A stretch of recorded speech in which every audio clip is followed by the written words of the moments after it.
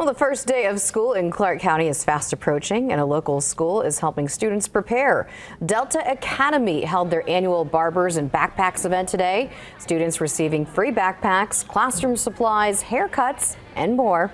The school supplies and toiletries were all donations from the community, with the haircuts being provided by volunteer hairstylists. We talked with Delta Academy's high school principal, who gave some advice for parents ahead of the new school year.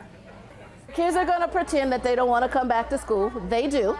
They give you grief in the car, but then they walk in the building and they're happy and surprised to meet with their friends. We see it every day. It's like a, and then they walk through the building and it's a big old smile.